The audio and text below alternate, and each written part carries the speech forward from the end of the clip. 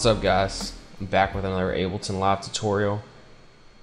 Today I'm going to talk about Ableton drum grooves and how to give your drums a swing or an unquantized feel. Uh, this is a very desired sound in hip hop music, which is what I'm going to be touching on.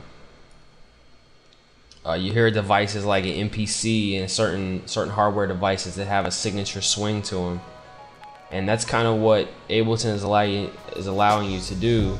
Allows you to emulate those same swings. It has MPC grooves built into it. It has SP1200 grooves. It has Logic grooves. It has you know other hip hop grooves. It has other styles of music as well.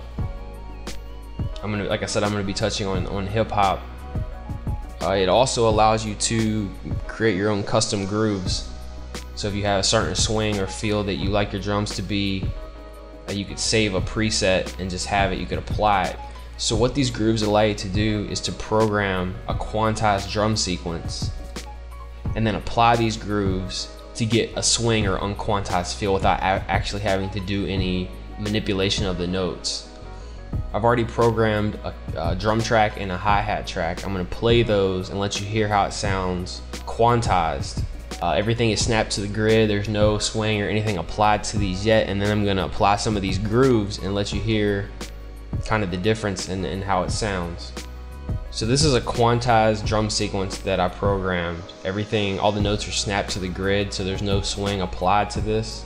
These are all drum sounds contained in the TCustomz Drum Sample Pack Volume 3. Uh, that's available on my website, links in the description. Uh, so I'm gonna go ahead and play this through and let you hear how it sounds with no, no swing.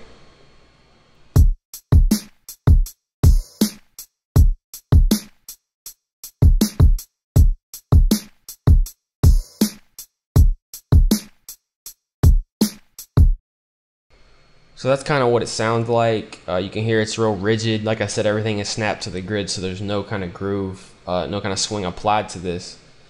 Um, so to kind of humanize it, now we want to apply a groove. One thing that I didn't mention is um, right now I'm, I'm using MIDI, I'm applying these grooves to MIDI sequence or MIDI track. This also can be applied to audio. So if you have an audio loop or something that's already, you know, in audio form, you can apply these grooves to audio as well. So the first groove I want to talk about is MPC groove. Uh, you hear a lot of people talking about the swing, on an MPC. It's got that you know real hip hop sound and whatever. So I'm sure that people were gonna use that that MPC swing. So I want to touch on that. To access the grooves, um, you're gonna have to go to the Ableton library folder, and then inside a library, there's a, a subfolder called grooves, and this is the one that I'm I'm focused on now. And then you're gonna see inside of grooves, you're gonna see an MPC folder. Uh, there's a lot of different uh, timing grooves. Uh, so you can play with some of those and see what what you what you'd like to use for that. What I'm going to do is I'm going to go down to these MPC 16 swings. I'm going to take the most extreme, the 75 swing, and I'm going to um, you, you can do one of two things. You can drag the swing down to this groove pool, and in the groove pool you can have multiple swings. You can apply to different tracks and you can control all of those grooves from the groove pool. Um, another thing you can do, it will still put it in the groove pool, but what I, a lot of times what I do is I'll just drag the groove over to the MIDI track. And what it does is it will go ahead and automatically apply it to that track as well as add it to the groove pool.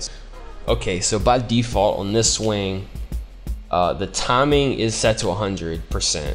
And the timing is basically the percentage of the groove that is going to be applied. So if at 100%, it's going to be the maximum swing that that groove allows. Now, the more that you decrease that percentage, the less and less swing. So if I take it down to zero, it will it will basically have no swing applied, and it will be the original the original quantized drum track that I played. So you can a lot of times what I'll do is I'll go to the maximum swing that the max swing at 75 and then you can just mess with the percentages to get the the amount of swing that you want. What I'm gonna do is I'm gonna play this on 100% so you can see how exaggerated the swing is on 75.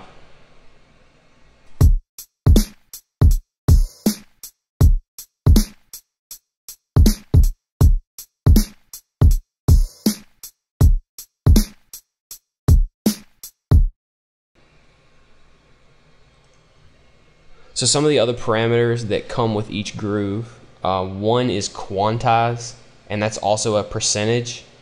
Since we already have our drum tracks quantized, this really will have no effect for us. But say you played a drum track live, say you uh, were using your MIDI controller and you you programmed a, a drum track in. Um, unless you already had it set to quantize, it may be offbeat a little bit. So what this will do, without you actually having to go in and quantize it, you can set a base of what what um how you want it to quantize, and then you can apply a percentage, so it will go ahead and snap to the grid just inside of the groove versus having to apply a quantize beforehand. And we already talked about the timing to give you the percentage, the control over the the groove amount. Random will shift um, off of the groove slightly of what the, the MPC or whatever groove you're using. It, the random will just kind of randomly shift from that. So that's a cool feature you can throw in, maybe just like a little bit to see how it plays, give it more, you know, a, a human feel. And then the velocity um, is basically what it says. It, it varies the velocity um, and, and by default it goes to 30% so you can leave it there. You can play with it and see what, what sounds best to you. The groove velocity doesn't always give you as much control over the velocity as you may want. So sometimes what I do is I'll go in after the fact and manually adjust some of the drum velocities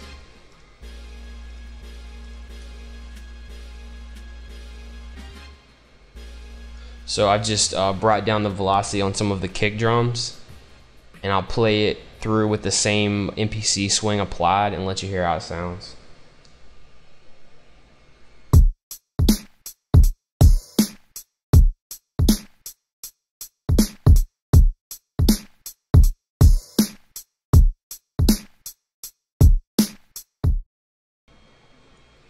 And so it's the same thing with the hi-hats. Right now, the hi-hat track that I programmed was, you know, 100% quantized and uh, there was no velocity variation. So the groove will give it some velocity variation, but a lot of times I will manually vary the velocity after I apply groove.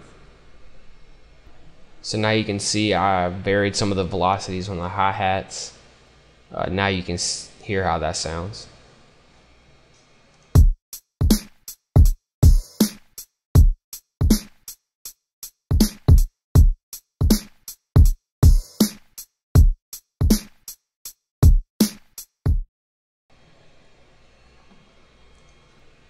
So now I'm going to go through a couple of the other grooves and just let you hear the difference, how they, how they sound. So here's the SP1200 16 swing 71.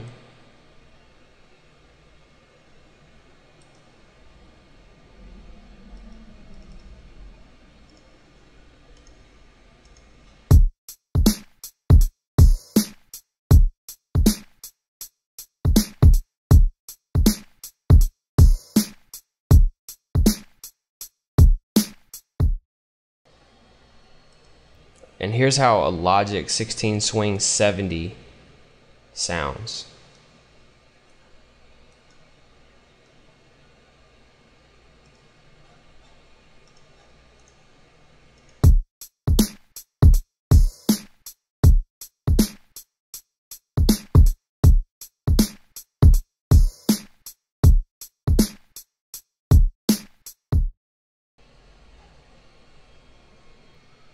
Again, there are a lot of other grooves that you can apply. I just wanted to touch on a few of maybe the more common ones and just let you hear the difference and that it can make in your drum tracks. I feel like these kind of features make it easier for somebody coming from, you know, a hardware background, maybe MPC or an SP or whatever it is, because they already have access to the kind of grooves that were built into those machines. So anyway, I hope that helps uh, some of you all using Ableton to make your beats, or even some of you considering, you know, switching to Ableton.